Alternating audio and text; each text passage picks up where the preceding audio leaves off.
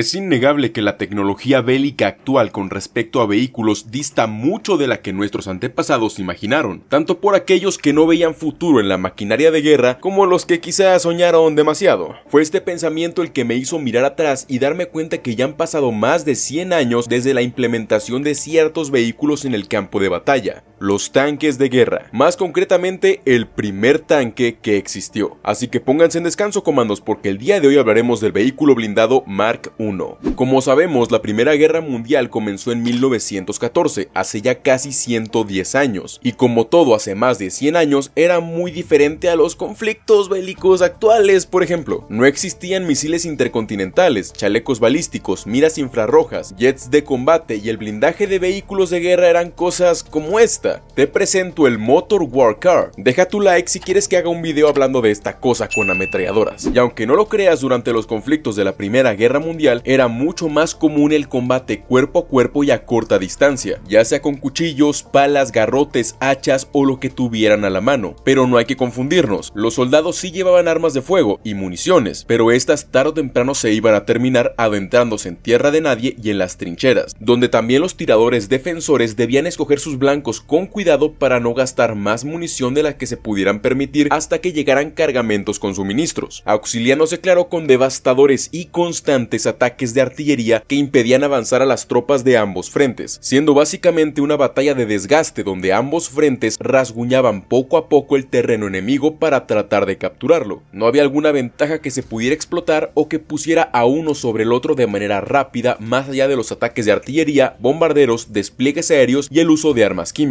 pero todo esto requería tiempo, posicionamiento, dinero y planificación. Se necesitaba algo más sencillo que las tropas pudieran utilizar casi en cualquier momento.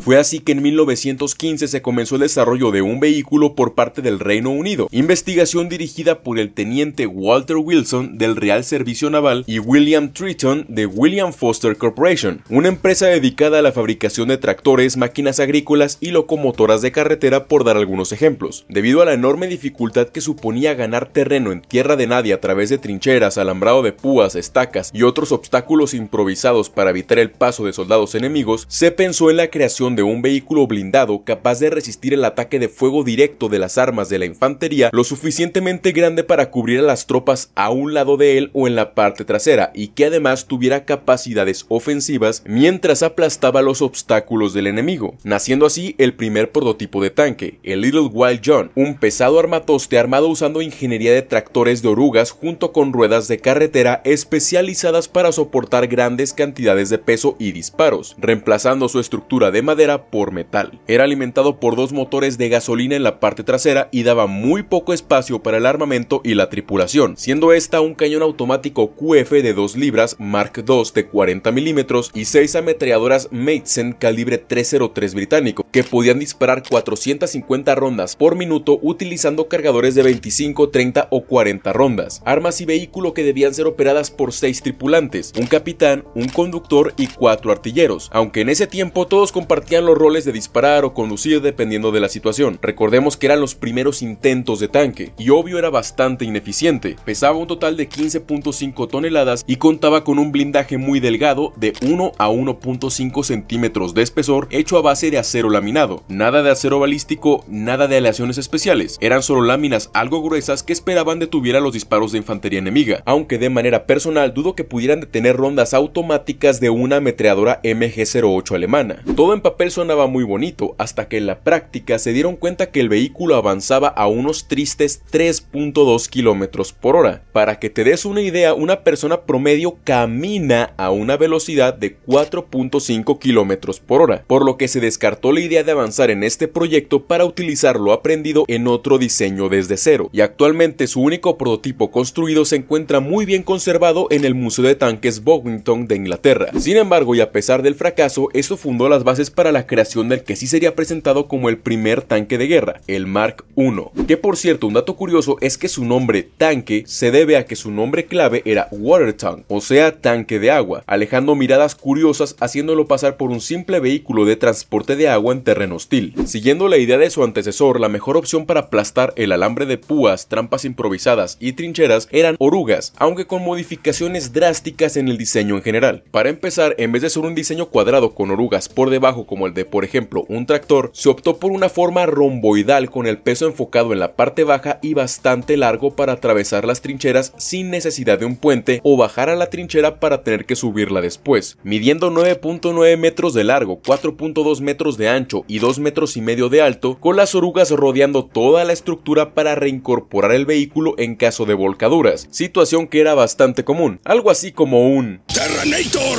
el coche más poderoso que ha existido, con tracción 4x4 y dos turbomotores. Este sí es todoterreno, las calles son fáciles, mete una lodo, parte la nieve, pasa por el agua. Terrenator es el más potente que haya existido. En este caso era alimentado por un solo motor de gasolina de 6 cilindros, el cual se encontraba en el centro del vehículo, por lo que se imaginarán que estar en el interior de esta máquina de guerra era una experiencia bastante desagradable. Aún con buena ventilación, sus ocho tripulantes, un capitán, un conductor, un frenador, porque sí, el que conducía la dirección del tanque no era el encargado de acelerar o frenar, y cuatro artilleros estaban expuestos a vapores de combustible, monóxido de carbono venenoso, aceite quemado, humo de la deflagración de los disparos, humedad y todo junto a unos aproximados 50 grados centígrados, provocando que en muchas ocasiones los tripulantes se desmayaran en servicio o bien al salir del mismo, síntomas de una clara intoxicación, problema que solucionaron entre comillas, otorgando máscaras antigas y cascos de cuero para proteger a las tropas en su interior si es que se desmayaban para no golpearse la cabeza. Pero claro, la muerte por golpe de calor seguía siendo bastante común, ya que además de estas prendas, los tanquistas para evitar lesiones por los fragmentos de metralla desprendidos del interior de la cabina, portaban además máscaras de cuero y cota de malla, siendo uno de los uniformes más incómodos de la historia, por lo que la temperatura en sus cuerpos alcanzaba niveles demasiado peligrosos. Su armamento principal eran dos cañones Ordnance QF Hotkins de 6 libras de 57 milímetros, uno de cada lado, con bastante capacidad de rotación y maniobrabilidad, pero solo mirando hacia su lado, aproximadamente cubriendo 110 grados de los laterales, ya que para apuntar justo al frente del vehículo era imposible, pero aún así eran unas bestias capaces de traspasar búnkeres, estructuras y destruir vehículos sin mucho esfuerzo, aunque para corregir el problema de los puntos ciegos se colocaron tres ametralladoras coaxiales Hawkins M1909 calibre 303 las cuales pueden disparar con una cadencia de entre 400 a 600 rondas por minuto y eran alimentadas tanto por cargadores de 30 rondas o tiras de munición para evitar recargas recurrentes. Estas mismas estaban colocadas a los laterales justo atrás de los cañones para cubrir parte de la retaguardia y eliminar a la infantería cercana, y otra al frente que era manipulada por el frenador, teniendo que dejar el vehículo avanzando o detenerlo por completo para utilizarla, pero al menos brindando algo de potencia de fuego en el lado que más comúnmente miraban los enemigos. Su blindaje estaba pensado para resistir lo que mayormente eliminaba las tropas de infantería, o sea, ataques cuerpo a cuerpo, disparos, metralla y explosivos de mano, teniendo en principio un blindaje de 0.8 centímetros en la parte frontal y 0.6 centímetros en los laterales y parte trasera hecho a base de acero de magnesio, una aleación metálica diseñada para resistir impactos contundentes sin deformarse tan fácil. Esta configuración era lo suficientemente resistente para aguantar una gran cantidad de disparos de infantería, ya fueran de pistolas Luger 9 x 19 milímetros, Mauser C96 7.63 x 25 milímetros, el fuego automático de ametralladoras MG08 7.92 x 57 milímetros o incluso explosiones y metralla de granadas de fragmentación. Pero esto también comenzó el desarrollo de las ahora nuevas armas antitanque, siendo una de las más comunes las denominadas municiones K7.92 x 57 milímetros Mauser, una de las primeras municiones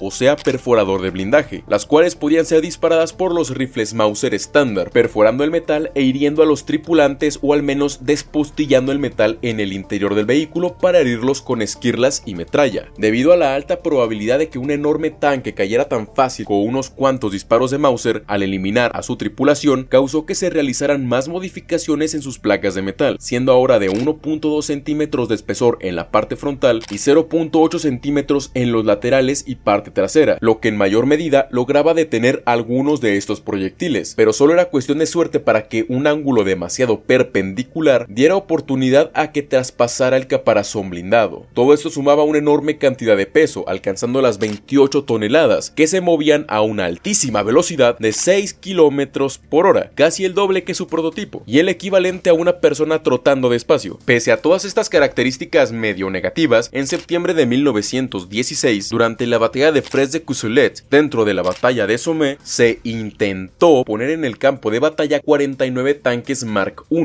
aunque por diversas dificultades técnicas solo unos pocos llegaron al frente, siendo una pieza clave para la victoria relativa sobre los alemanes en territorio francés, aunque se tenían expectativas mucho más altas de lo que lograrían esos armatostes, pero no se discute el testimonio de algunos soldados alemanes que se retiraron del lugar para sobrevivir. Eran grandes y no se detenían, no tenían neumáticos para pinchar disparaban casi de manera errática, partían los escombros, el alambre de púas y por más que les disparábamos parecía que solo estábamos arrojando piedras. Tuvimos que retroceder. Quiero mencionar también que durante esta batalla se encontraban presentes ya dos variantes del Mark I, la variante macho que fue la que describimos prácticamente hasta este punto del video, pero también tenía una variante hembra. Esta última presentaba un armamento diferente. En lugar de tener un cañón de cada lado, poseía dos ametralladoras Bikers 303 colocadas de tal manera que pudieran cubrir casi 150 grados de los laterales del tanque. Estas potentes ametralladoras utilizaban, como bien su nombre dice, el calibre 303 británico y podían disparar con una cadencia de hasta 450 rondas por minuto, logrando proporcionar un fuego sostenido bastante agresivo, auxiliándose con sus cintas cargadoras de 250 cartuchos de capacidad. Esta diferencia en su armamento lograba que el Mark I femenino pesara una tonelada menos, con 27 en total, aunque no era una reducción de peso suficiente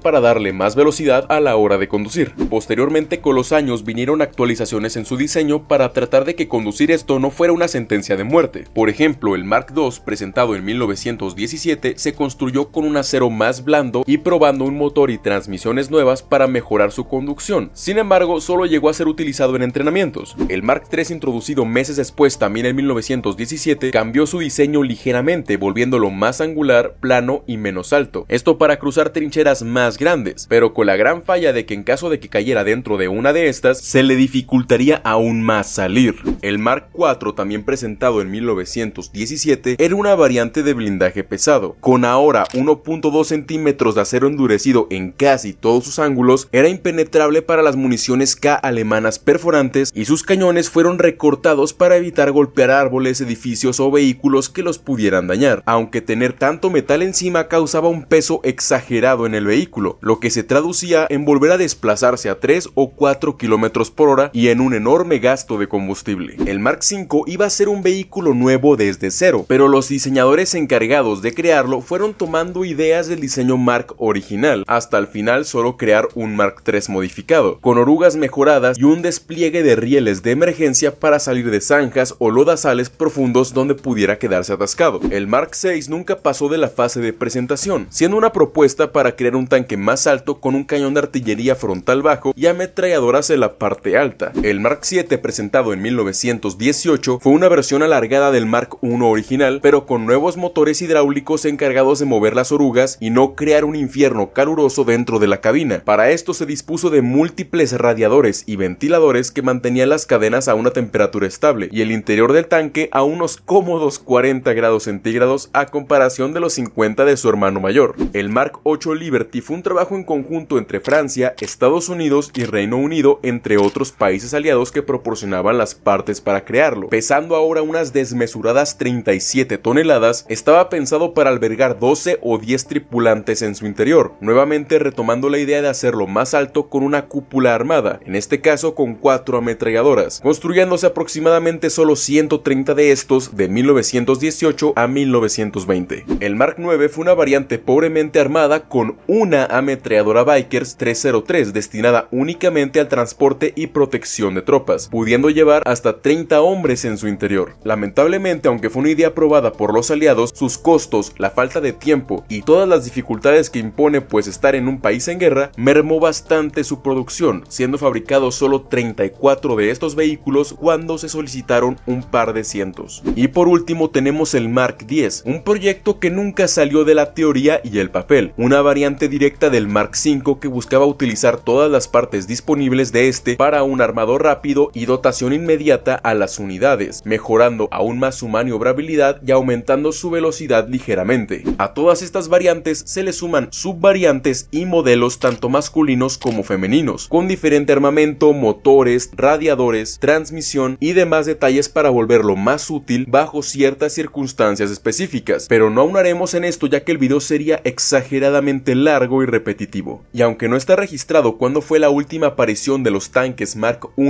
y variantes en batalla, al parecer este comenzó a ser obsoleto justo en 1918 al final de la Primera Guerra Mundial, siendo sepultado por la década de 1920 donde se comenzaron a crear y mejorar máquinas de guerra como el Renault FT francés, el Vikers Mark III de Reino Unido o el T-18 de la Unión Soviética. Pero por fortuna quedan bastantes de estos vehículos conservados en museos por el mundo, dispuestos a enseñarnos un poco de su historia a través de las cicatrices de su armadura. Y bueno, eso sería todo por el video de hoy, espero te hayas entretenido y hayas aprendido algo. Déjame en la caja de comentarios si quieres que hablemos de algún otro vehículo de guerra y si te quedó alguna duda igualmente puedes dejarla por ahí y así yo la contestaré con gusto. Te dejo mis redes sociales para que no te pierdas más información táctica y fotos de perritos y mi canal de Twitch donde me gusta jugar cositas con ustedes. Le mando un saludo y un abrazo enorme a los sargentos del canal quienes me apoyan para realizar este contenido más fácilmente. Si tú también deseas ser parte de la tropa, solo da clic en el botón azul de unirse al lado del botón de la suscripción y obtén beneficios especiales como también hermosas insignias personalizadas que suben de nivel al lado de tu foto de perfil como también emotes personalizados. Yo soy Sierra y me despido.